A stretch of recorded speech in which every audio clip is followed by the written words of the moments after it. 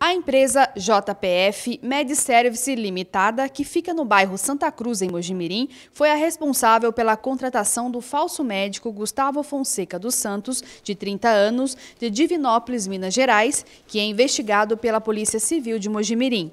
A informação foi confirmada pela assessoria de imprensa da Santa Casa Mojimiriana. A empresa é de propriedade de João Paulo Franzon Baione, cardiologista que atende e gerencia os serviços de urgência e emergência no pronto-socorro da Santa Casa. Em depoimento à polícia, o falso médico não citou o nome da empresa, mas disse que foi contratado sem a necessidade de comprovar sua formação médica. Ontem, o canal aberto informou que Gustavo é formado na Bolívia, mas não tinha registro para trabalhar no Brasil. Para exercer a profissão, ele usou irregularmente o número do CRM de outro médico, registrado no Conselho Regional de Medicina e que possui o mesmo nome que o dele. Aí, através da internet, ele achou um médico com o mesmo nome dele, né? E o respectivo CRM. A JPF MedService Limitada tem como atividade principal atendimento em pronto-socorro e unidades hospitalares. A empresa foi aberta em 2011, mesma data que começou a prestar serviços na Santa Casa de Mojimirim. O médico Baione, proprietário da empresa que contratou o falso médico Gustavo, em 2014, foi agraciado pela Câmara Municipal de Mojimirim com a medalha João Teodoro, indicada pela vereadora Daniela Dalben do Solidariedade. Ele nasceu em Arapongas, no Paraná, e assim como o falso médico, Dr. João Paulo, também fez medicina na Bolívia. É graduado pela Universidade Maior Real e Pontifícia de São Francisco Xavier de Chuquisaca. Baione foi procurado para falar sobre a contratação do falso médico, mas não foi encontrado até o fechamento desta edição. O delegado Luiz Roberto Janine Ortiz disse que a empresa pode ter sido induzida ao erro ao contratar o médico Gustavo sem um registro profissional, mas deve ter responsabilidade administrativa. Tem que ter mais prudência, né? Que é isso? Contrata uma pessoa sem ser formada, ainda mais né, militando nessa área de saúde. É errado. Então, por isso que a gente vai, vai verificar se realmente houve, é, houve algum contrato, o que ele apresentou, porque se não houve é, qualquer apresentação de documentos, no mínimo a empresa né, é, foi, foi omissa. Ainda com relação à empresa JPF, ela consta como parte envolvida em possíveis fraudes e desvios de dinheiro na Secretaria de Saúde de Santo Antônio da Posse. Uma investigação foi aberta em 2014 para apurar as irregularidades na saúde da cidade vizinha e o nome da JPF foi citado. Este ano, a Justiça inclusive bloqueou os bens dos envolvidos. A diretoria da Santa Casa de Mojimirim informou por meio da assessoria de imprensa que só vai se manifestar sobre o assunto, inclusive pela contratação da JPF, após a conclusão do inquérito pela Polícia Civil.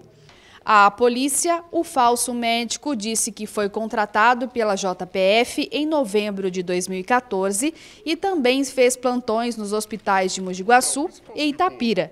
Depois que a notícia tornou-se pública, muitos pacientes reconheceram o profissional, inclusive aqueles que foram atendidos no posto de saúde do Mojimirim 2. Quando a gente viu a foto na internet, começou a circular, eu e minha esposa se espantamos.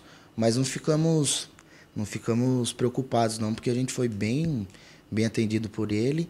A descoberta do falso médico só veio à tona em Mojimirim após denúncia da família de Ricardo Prado Maiolo, de 32 anos, paciente que morreu na Santa Casa em março deste ano por suspeita de dengue hemorrágica. Na semana passada, o verdadeiro médico Gustavo Fonseca dos Santos, de 29 anos, descobriu que seu CRM estava sendo investigado.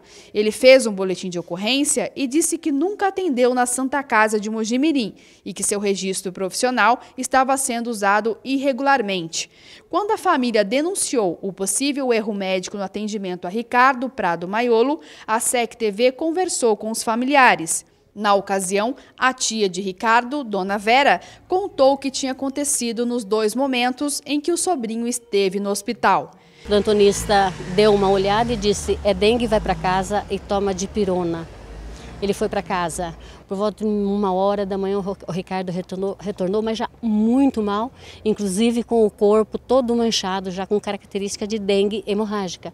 Veio ao hospital, o médico falou que tem que ser hospitalizado. Ele estava muito mal ele tem um convênio. Convênio esse que dá direito a um quarto sozinho. Diz que não tinha. Minha irmã dizia: pelo amor de Deus, ele tem que ser hospitalizado, mesmo que seja numa maca. Atende meu filho. Não aguarda que vai desocupar o quarto.